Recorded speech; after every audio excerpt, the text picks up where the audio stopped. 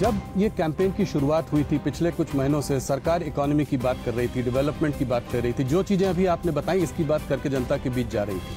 पहले चरण के बाद ये देखा गया कि थोड़ा ये तुष्टिकरण की ओर मुड़ा, थोड़ा हिंदू मुसलमान हुआ।